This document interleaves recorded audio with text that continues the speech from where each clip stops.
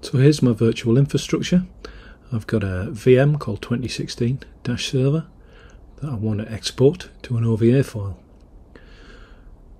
The first thing I have to do if I want to use PowerCLI or PowerShell is connect to the virtual center itself. Now it's throwing all that gobbledygook at me because I haven't um, expressed a preference for the CEIP so let's just fix that so it doesn't ask me again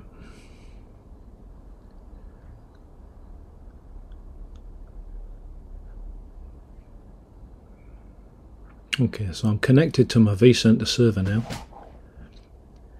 The first job that I want to do is remove any snapshots for the VM that I'm going to export to OVA. Now you can see in the background there that remove snapshot has started running on the vCenter server. For the sake of the video, I shall speed it up.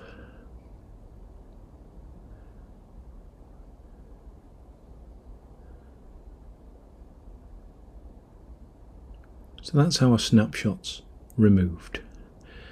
Now the machine itself, 2016 server, needs to be powered down. As you can see, because there's a little tiny green triangle over the icon, it's currently running. So I'm just executing a command there, shut down VM guest, to shut the machine down. And you can see it's been fired off, but the, the machine will be gracefully shutting down in the background. That's why it's going to take a couple of minutes if I just click off it back on again.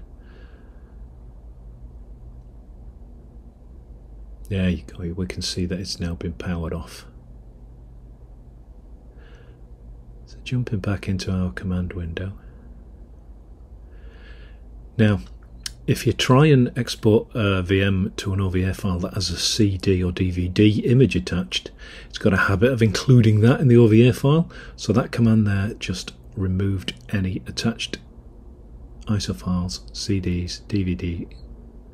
And now we're going to export using the export VApp command to OVA format to a folder on my D drive called DExported. There it is, you can see there's nothing in it at the minute. So I'm going to execute that command and it will take that VM, it will export it in OVA format and it will put it into that folder. Now depending on how big the VM is, depends on how long it will take. Now just a warning, if it's a massive VM, for instance I, I had a colleague who had a 12.5 terabyte VM, you may need to alter the environment variables for the temp and the TMP so that it's not pointing to C Windows temp. This is only quite a small VM, so it doesn't affect us. And that's us successfully exported our OVA file. And that's us done. Thanks very much for watching. Don't forget to come and visit us at